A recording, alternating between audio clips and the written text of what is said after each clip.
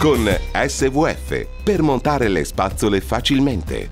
Solleva con attenzione il braccio della spazzola o, se necessario, verifica il manuale d'uso del veicolo. Rimuovere la spazzola usata.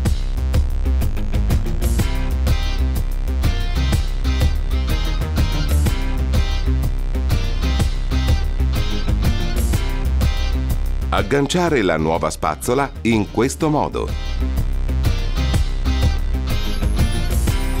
Verificare che la spazzola sia correttamente fissata.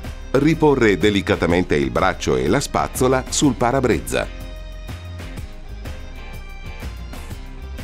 Verificare il corretto funzionamento delle nuove spazzole. SVF raccomanda di sostituire le spazzole una volta l'anno. Rimuovere l'adesivo dell'indicatore d'usura. Quando diventa giallo occorre cambiare le spazzole.